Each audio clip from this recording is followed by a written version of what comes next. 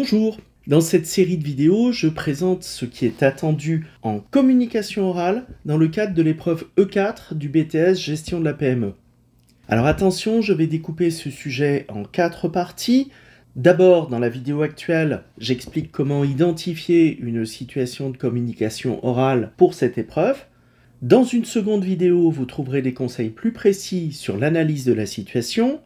Dans une troisième vidéo, vous saurez tout sur la manière dont la communication orale est évaluée dans le cadre de l'épreuve 4. Et enfin, dans une quatrième vidéo, je vous proposerai un exemple détaillé d'analyse de situation de communication orale. Alors j'ai réalisé plusieurs autres vidéos concernant cette épreuve 4 et le BTS Gestion de la PME dans son ensemble. Certaines sont peut-être en cours de tournage ou de montage et seront diffusées plus tard, donc regardez les liens qui sont en description et puis abonnez-vous à ma chaîne.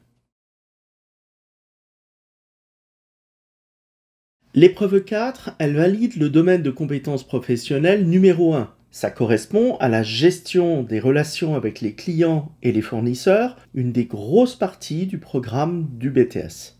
Et puis en parallèle d'éléments propres à la gestion, l'épreuve 4 valide également des compétences de communication écrite et de communication orale qui sont enseignées dans les heures dédiées justement à la communication, qui est une discipline transversale. L'épreuve 4 peut être présentée soit sous forme ponctuelle, soit sous forme d'un contrôle en cours de formation, un CCF, mais dans les deux cas, elle va s'appuyer sur un dossier qui sera identique. Cette vidéo s'appuie sur des informations qui sont présentées dans le référentiel de certification du BTS. Et puis on trouve différents éléments relatifs à l'épreuve dans la circulaire nationale d'organisation du BTS qui est publiée chaque année, en particulier des consignes, des modèles de fiches à rendre et des aides à l'évaluation. Concernant la communication orale, on attend de la part des étudiants l'analyse de deux situations vécues en entreprise. Ces analyses doivent montrer comment on s'y prend pour répondre à l'oral à un besoin de communication.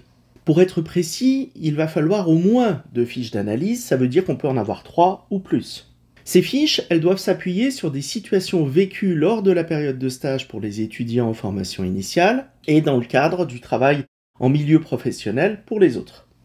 Ce qui est important, c'est de bien cerner le contexte professionnel, parce que c'est lui qui nous conduit à réaliser un échange oral. On travaille dans un cadre réel qui impose des contraintes particulières.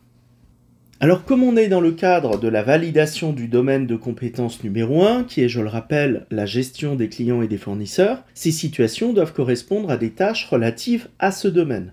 Toutes les tâches professionnelles étudiées doivent être recensées dans un tableau de synthèse qui va réunir toutes les situations professionnelles et c'est ce qu'on appelle le tableau synoptique. Mais attention, il faut au moins qu'une de ces situations implique un client ou un prospect éventuellement.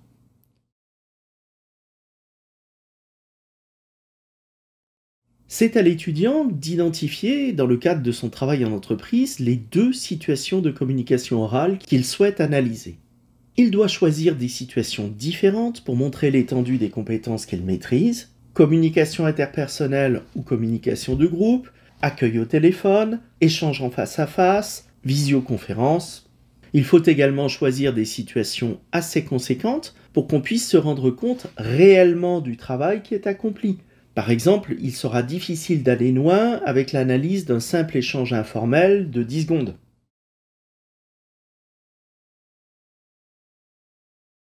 Il existe beaucoup de types de situations de communication orale qui vont correspondre au domaine de l'activité gestion des clients et des fournisseurs. On peut s'appuyer sur des échanges à l'accueil de l'entreprise, sur des relances, sur des réclamations, sur de l'information ou encore sur du conseil. On peut prendre appui sur des situations de prospection.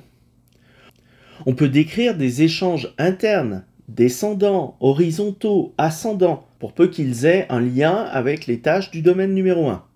Et bien entendu, il est possible de décrire des réunions, qu'elles soient uniquement internes ou qu'elles impliquent aussi des acteurs externes.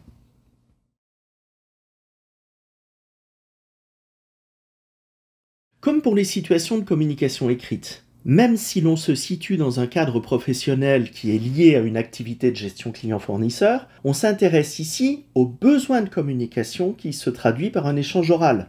Et c'est cet échange oral précis qu'on va analyser, et pas le processus de gestion qui est derrière. Si par exemple je passe un appel téléphonique dans le cadre d'une relance, je ne vais pas analyser ici le processus de réclamation, mais l'échange en particulier. Voilà, maintenant vous savez précisément ce qui est attendu comme situation de communication orale à l'épreuve 4 du BTS Gestion de la PME, et je vous invite à visionner la vidéo suivante qui vous explique comment réaliser précisément l'analyse de cette situation.